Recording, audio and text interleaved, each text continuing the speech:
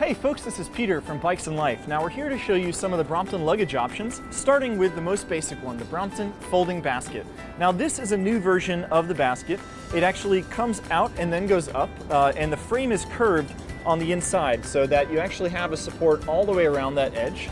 You also get a nice reflective strip across the front for uh, high visibility.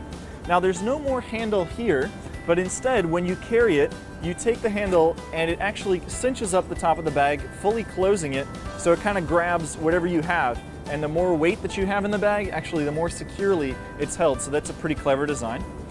You do still have a little handle on the back here, so you can carry it just by the side of the bag. And you also have some neat cinch up straps. So if you wanted to, you can cinch the bag closed while you're riding for, you know, a more secure holding of whatever's in there.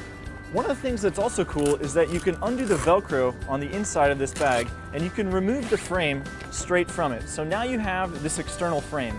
And this is a great way to show you exactly how it attaches to the bike.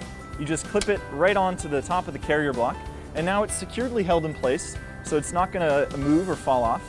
And what's neat is, as you can see, the bag is centered over the front wheel and when you turn the handlebar, the bag itself doesn't turn because this carrier block is actually mounted directly to the frame right here.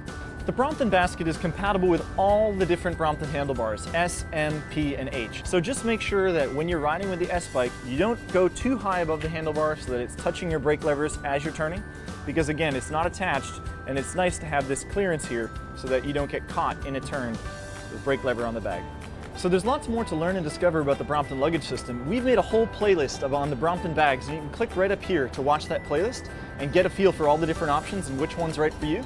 To learn more about the bike we've clipped this to, you can watch our Brompton folding bike review by clicking just down there. And to subscribe to our channel and get automatic updates, just click right here to subscribe, and uh, then you can be part of our community and, and learn about all these cool bikes. Hey, thanks so much for watching. Take care and have fun.